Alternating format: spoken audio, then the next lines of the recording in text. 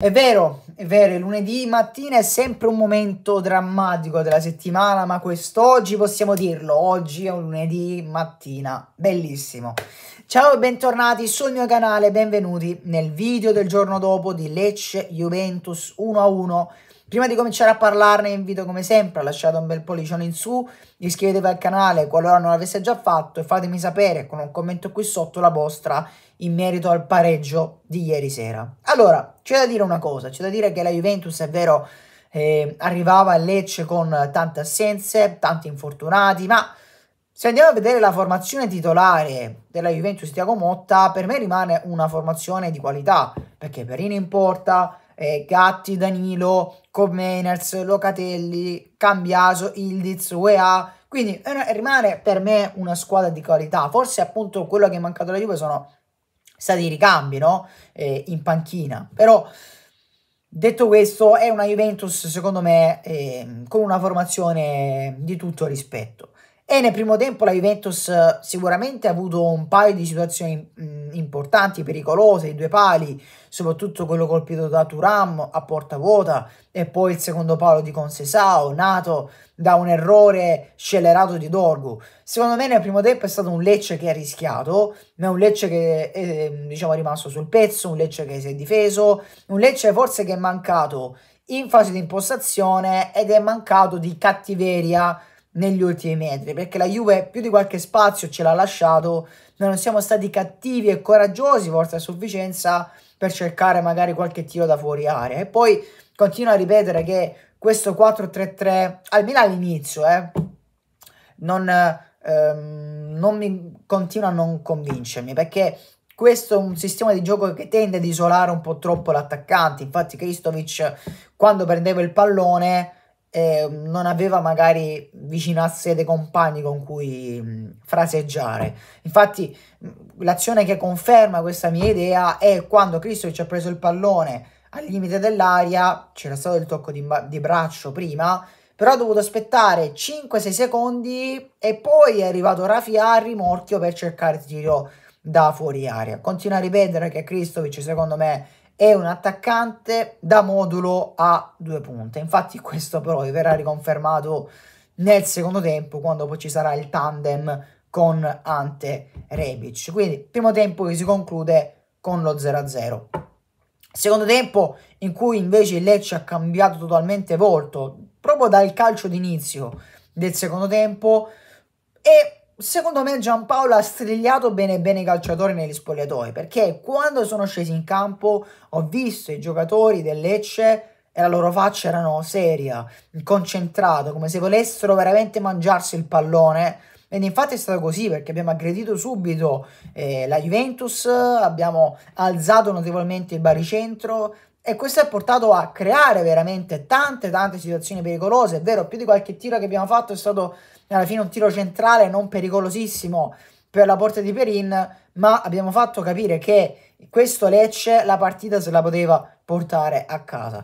Poi è arrivato il gol della Juventus, che veramente è sembrato come, come una beffa, eh, perché arriva il gol con un tiro di Cambiaso, Falcone era sulla traiettoria, ma prima c'era stata una deviazione fatale eh, da parte di Chialonda Gaspar, che con il proprio portiere non si è capito in un paio di circostanze, anche su dei cross defilati, Gaspar era uscito quando magari Falcone aveva chiamato palla ed infatti i due si sono date degli sguardi un po' contrariati, ecco, però per fortuna siamo riusciti meritatamente, a mio vedere, a riportare la gara sui nostri binari. Dopo c'è stato il rischio del tiro di Cobb Mainers su un pallone perso da Gallo che è uscito poi, credo, per un problema fisico.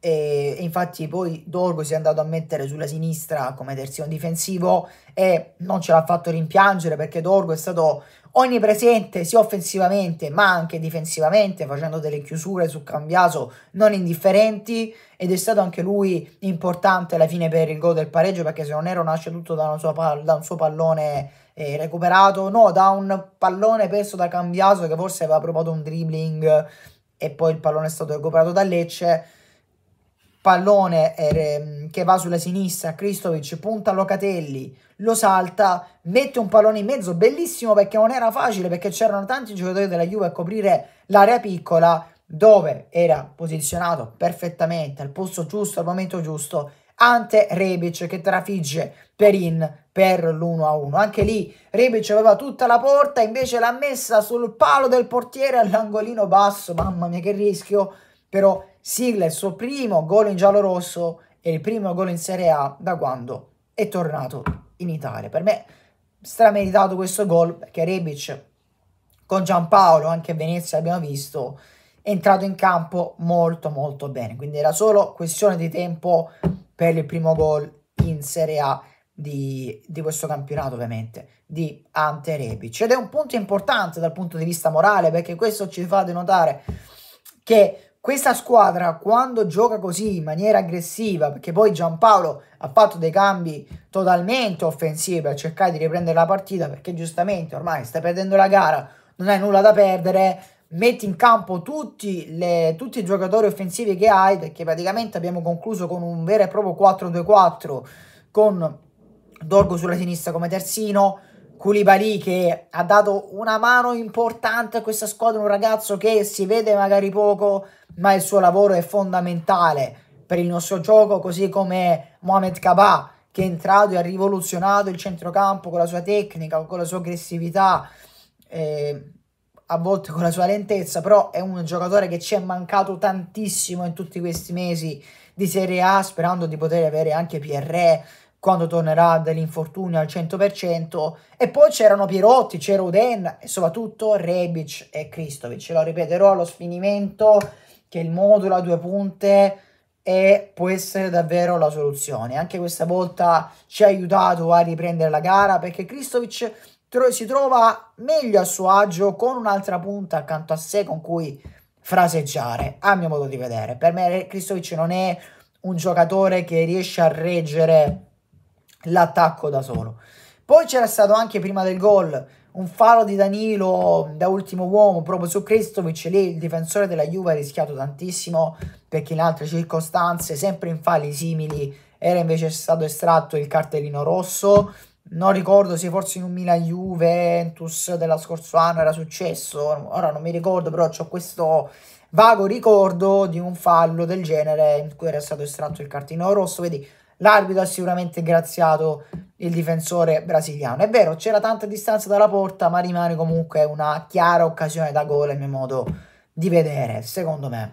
Però è un pareggio che dà morale, è un pareggio che ehm, ci dice che il Lecce sembra essere tornato finalmente un gruppo coeso ed è la cosa secondo me più importante, è un punto che comunque ci fa eh, staccare ancora di più il Venezia, a 8 punti noi siamo a 13, che fa mantenere il distacco con Monza e Como che si sono divisi nello scontro diretto la, la posta in palio, è un punto che ci fa staccare di un punto il Verona, loro a 12, noi a 13, noi avremo la prossima Roma-Lecce, una Roma che Mm, con Ranieri secondo me si riprenderà e quindi mi aspetto una gara sicuramente tosta. Loro, la Roma avrà la, la partita difficile contro l'Atalanta questa sera.